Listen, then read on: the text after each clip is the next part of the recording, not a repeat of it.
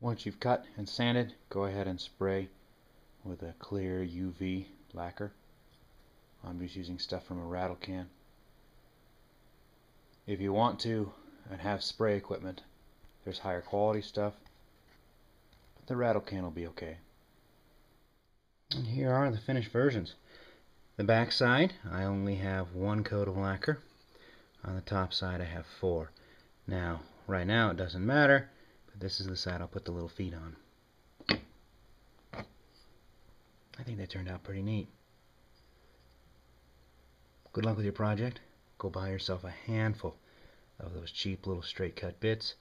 Burn them up, throw them away. That's my advice. I don't think I'd wreck jigsaw blades. I don't think I'd wreck lathe tools. I think I just use those things like they're candy.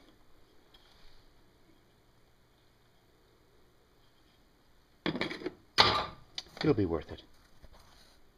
A little later I'll make a video on a, a, a record coaster holder that I've got my eye on. Um, sort of like a miniature platter. At least that's the goal.